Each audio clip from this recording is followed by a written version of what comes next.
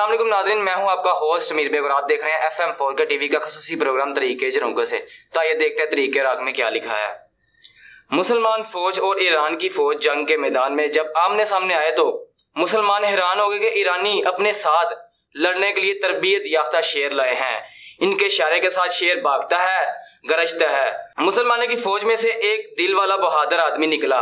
वो न डर, बहादुर मुसलमान एक खौफनाक और नाकाबले यकीन एतबार से शेर की तरफ़ भागा। और मेरा ख्याल है तारीख में ऐसा कभी नहीं हुआ कि एक आदमी शिकारी शेर का शिकार करने भागा हो। दोनों फौजें हैरत से देखने लगी। आदमी चाहे कितना ही मज़बूत क्यों ना हो, शेर का सामना कैसे कर सकता है? वो बहादुर हवा की तरह शेर की तरफ़ उड़कर गया। उस बहादुर के सीने में कामिल मुसलमान का ईमान और हिम्मत थी, जो खुदा के सिवा किसी से नहीं डरता, बल्कि इसका अकीदा था कि शेर ही इससे डरेगा। फिर इसने अपने शिकार पर शेर की तरह छलांग लगाई और इस पर कई वार किए, यहाँ तक कि उसने उसे मार दिया। ईरानियों के दिलों में खौफतारी हो गया।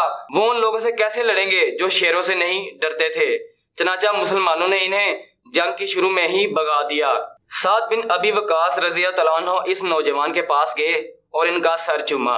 तो इस नौजवान ने आजदी के साथ साद रजिया तलानों के कदमों को बोसा दिया और कहा, आपकी शान नहीं है कि मेरा माथा चूमे, बल्कि मैं चूमता हूँ। क्या आप जानते हैं कि शेर बहादुर कौन था? हाशिम बिन उतबा इबन अबी वकास थे। ये खुद भी साबिर रसूल सल्लल्लाहु अलैहि वसल्लम थे और साबिर रसूल साद बिन अबी वकास के भतीजे थे। इनका लकब मरकाल था, यानी बहुत तेज दौड़ने वाले।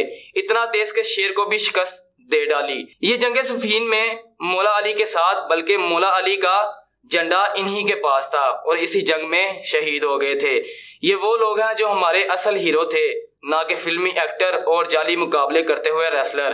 हमारी अपनी तरीक बड़ी बड़ी है, जिसमें हकीकी बहादुर मौजूद हैं, लेकिन इन कारनामों को पढ़ने वाले कोई नहीं है। इकबाल ने कहा था, टल ना सकते थे मैदान से जो उड़ जाते थे। टल ना सकते थे मैदान में जो उड़ जाते थे। पाँव शेरों के भी मैदान से उखड़ जाते थे। जी नाजरीन, ये थी आज की कहानी। उम्मीद है इस कहानी में से आपको बहुत कुछ सीखने को मिला होगा। अपने मेज़बान समीर बे को इजाज़त दीजिए। अल्लाह हाफिज़।